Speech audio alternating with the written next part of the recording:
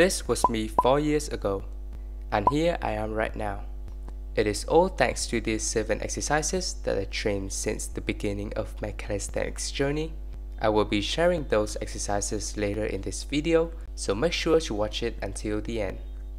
What is up bros? If you're new here, then my name is Tomi and I hope everyone who is training calisthenics or who just started their calisthenics journey to achieve their workout goals faster. So if you are one of those people, consider hitting that subscribe button and turn on the bell so you won't miss any of my future videos. So for starting the calisthenics journey, there will be many muscle groups that you can build or work on.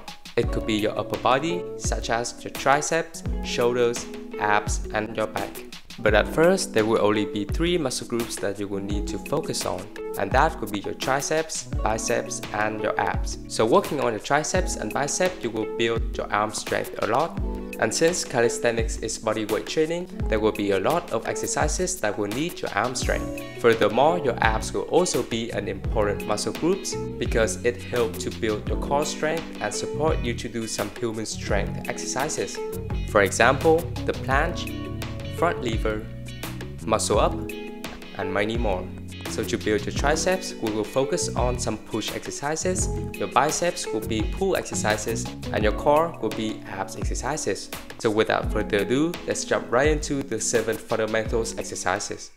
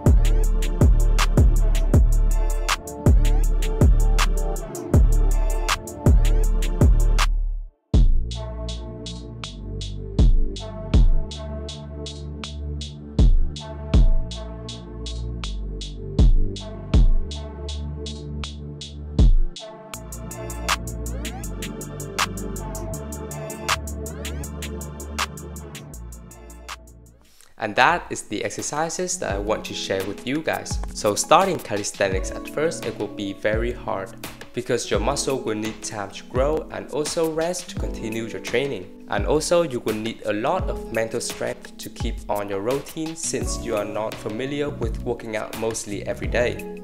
Therefore, you just have to believe in yourself and don't give up. I am sure that you will be able to achieve your workout goals. And if you find this video helpful, remember to smash that like and subscribe button because it will help the channel out a lot. Also, if you're interested in the advanced exercise of the pull-ups, which is the muscle ups, then you might want to check out this video where I share my 5 steps to do your first muscle ups. Well then, with that being said, I will see you in the next one.